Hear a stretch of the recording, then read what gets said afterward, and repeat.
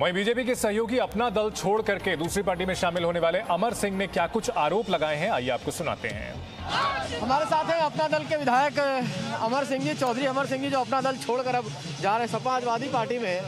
BJP के अध्यक्ष कह रहे हैं कि डबल इंजन की टिकट जिसको नहीं मिली है वो डग्गा मार गाड़ी में सवार हो रहा है। अरे हम सीधे देखे, ये तो झूठ बोल रहे हैं। वो भारतीय जनता पार्टी के नेता अगर हमको बुला के सिंबल दे तो मैं सिंबल फेंक दूँगा। लेकिन ऐसे पार्टी में सरकार में नहीं हूँ मैं ऐसे सरकार में, ऐसे व्यक्ति के साथ में चलूँगा जो सबका साथ, सबका विकास करे, झूठे वादे ना करे।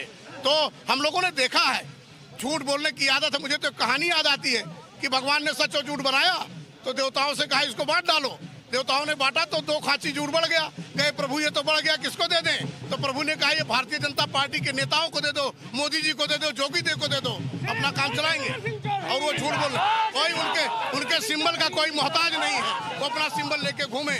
हम लोग अब पूरी निष्ठा से, पूरे ढंग से आदरणीय अखिलेश यादव जी के सानिध्य में उनके आशीर्वाद प्राप्त करके हम लोग समाजवादी का परचम लहराने चल रहे हैं और बाईस में प्रचंड बहुमत की सरकार समाजवादी की पार्टी बनेगी जिसके मुखिया दलीय राष्ट्रीय अध्यक्ष अखिलेश यादव होंगे। केशव मौर्य भी पिछड़ों के नेता है। केशव मौर्य का कहना है कि आप लोगों के जाने से कोई फ़र्क नहीं पड़ेगा। 2017 जैसा बहुमत ही बीजेपी लेकर केशव मौर्य को भी लोग जान चुके हैं समझ चुके हैं। कौन पिछड़ा कौन अगड़ा वो अगड़ों की पार्टी में पिछड़ों की बात करने पर चुप्पी साधे हो कभी बोला उन्होंने कभी कुछ किया उन्होंने? वो तो स्टोर मंत्री है अपना स्टोर कर रहे हैं स्टूल मंत्री है वो।